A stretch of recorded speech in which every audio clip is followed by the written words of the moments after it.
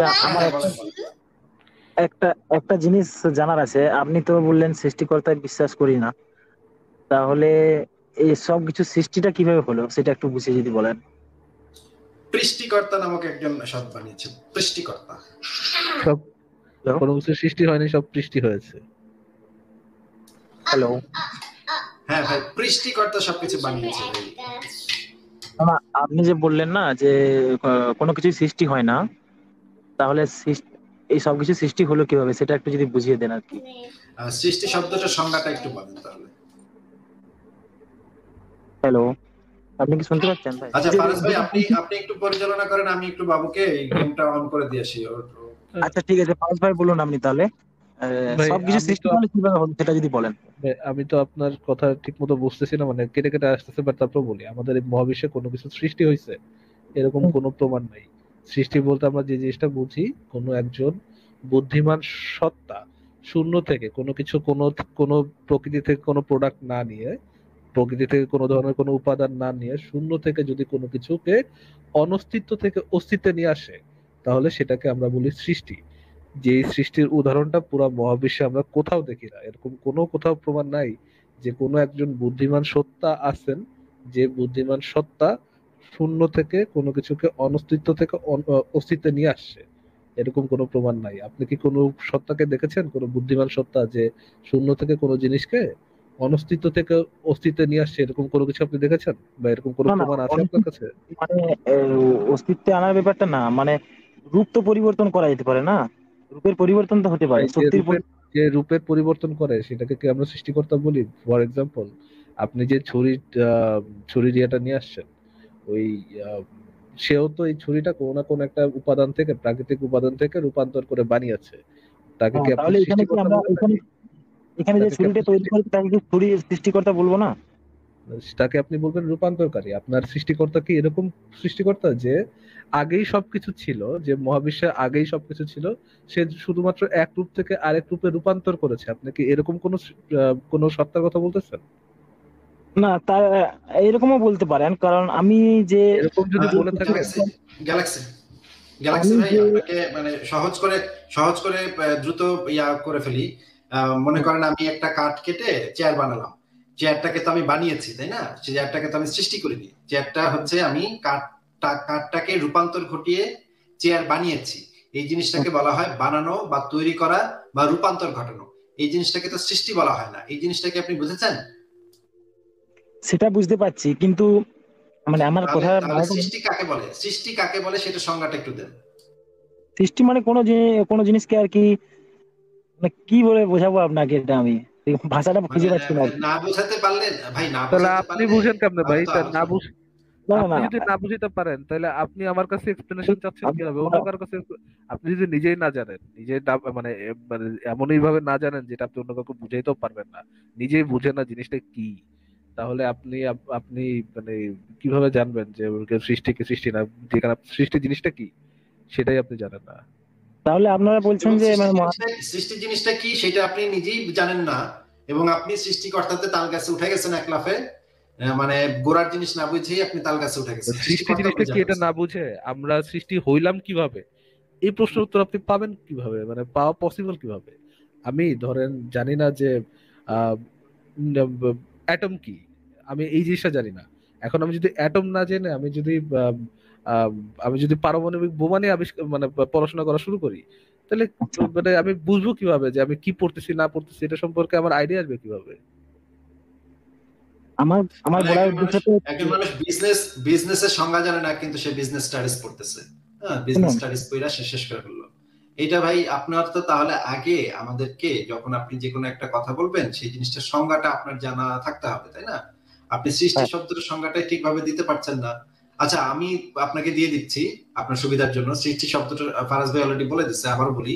সৃষ্টি শব্দটার সংজ্ঞা হচ্ছে শূন্য থেকে কোনো কিছু মানে একটা জিনিসের কোনো অস্তিত্ব নাই সেখান থেকে কোনো কিছুর যদি অস্তিত্ব আসে এবং সেটার পেছনে যদি প্রকৃতি থেকে কোনো উপাদান সংগ্রহ না করে সে প্রকৃতি থেকে উপাদান সংগ্রহ করে ফেলে সেটা হয়ে যাবে রূপান্তর। মনে করেন এই যে ছুরিটা ছুরিটা লোহাটা বা মানে স্টিলটা প্রকৃতি থেকে সংগ্রহ করা হয়েছে। এটা আর সৃষ্টি না। প্রকৃতি থেকে কোনো উপাদান সংগ্রহ না করে যদি অনস্তিত্ব থেকে অস্তিত্বে কোনো কিছু আনা হয়, সেটাকে বলা হয় সৃষ্টি। এখন এইটা এটা হচ্ছে সৃষ্টি শব্দটার সঠিক সংজ্ঞা। আর বাদ বাকি যেগুলো, সেগুলো হচ্ছে তৈরি করা, বানানো, রূপান্তর ঘটানো। আমরা চেয়ার টেবিল বানাই, আমরা রাস্তাঘাট বানাই, আমরা এয়ারপোর্ট বানাই, আমরা মোবাইল ফোন বানাই।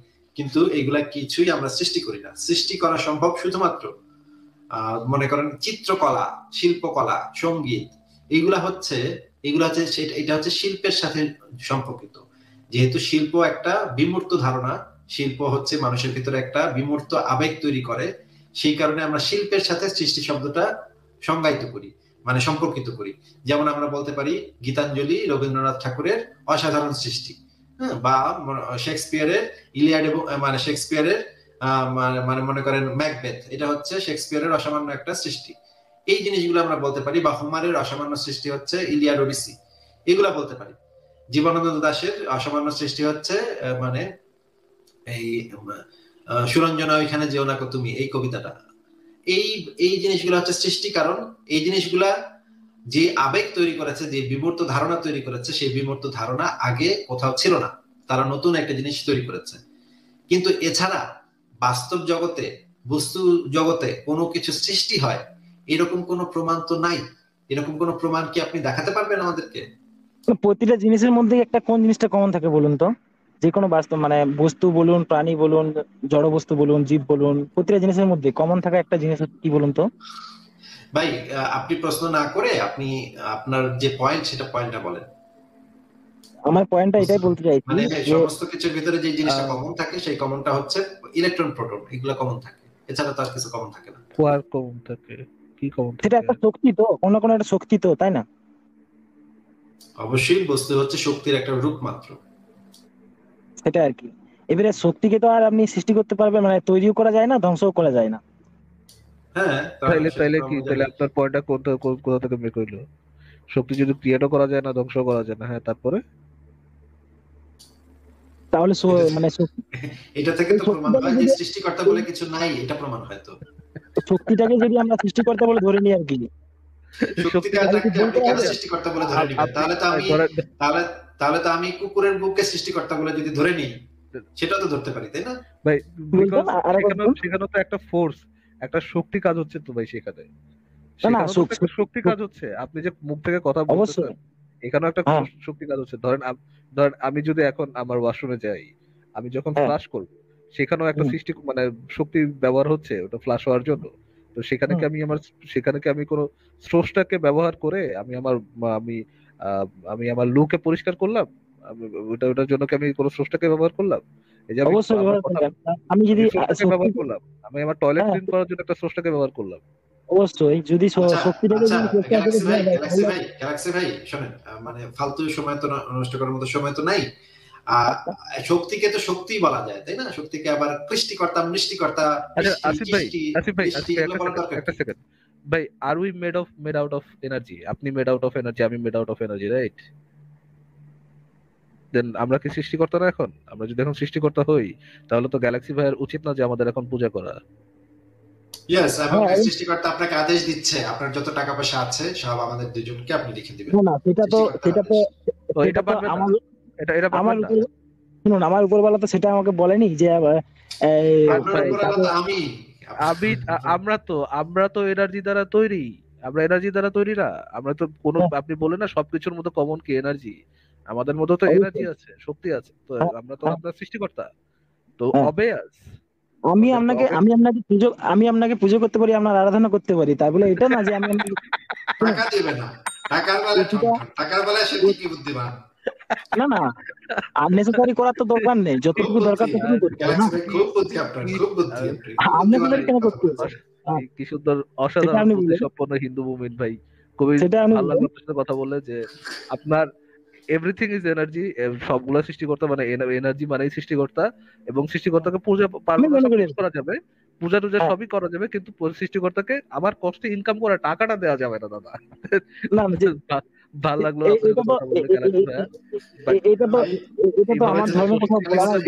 এবার যদি সৃষ্টিকর্তা ডিফাইন করেন মানে এনিথিং দ্যাট হ্যাজ এনার্জি যেটা যদি সৃষ্টিকর্তা হয় তাহলে আপনি হ্যাঁ। আপনার নিজেই সৃষ্টি নিজেই আপনি সৃষ্টি নিজেই নিজের সৃষ্টিকর্তা আর সবকিছুর মধ্যে আমি বলতে চাইছি যে মানে তিনি আর কি সবকিছুর মধ্যে বিরাজমান এটা আমি বলতে চাইছি।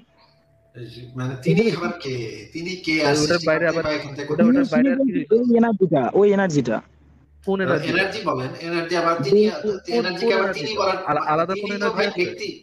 আমি পার্সোনাফাইড করছি আর কি তিনি শব্দটা আমরা ব্যবহার করি তো একটা সচেতন সত্তাকে উদ্দেশ্য করে। আচ্ছা আমি এনার্জি আমি সচেতন সত্তা না। আচ্ছা আচ্ছা আচ্ছা ওই জিনিসটা তিনি বললাম না ওই আর কি। এনার্জি কি কোনো সচেতন সত্তা?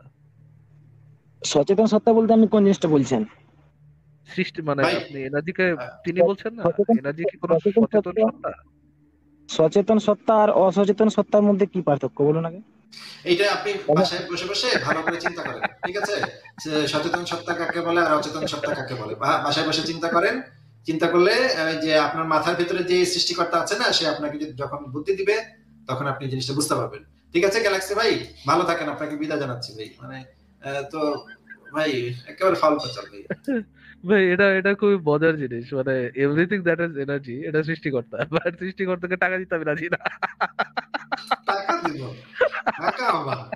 বাদ বাকি মানে যেটা টাকা লাগে না সেটা সেটা দিব। টাকা না বুদ্ধিমান big brain big brain movie দিক দিয়ে ঠিকই আছে। যা এটা বলে যাতে মাতাল কিন্তু তাহলে ঠিক।